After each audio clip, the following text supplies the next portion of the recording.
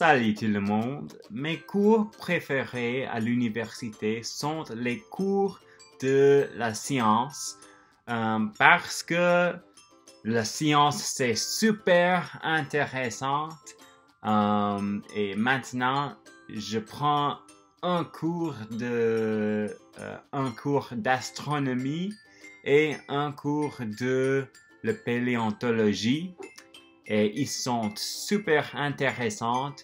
Euh, chaque jour, chaque classe, j'apprends quelque chose que m'étonne.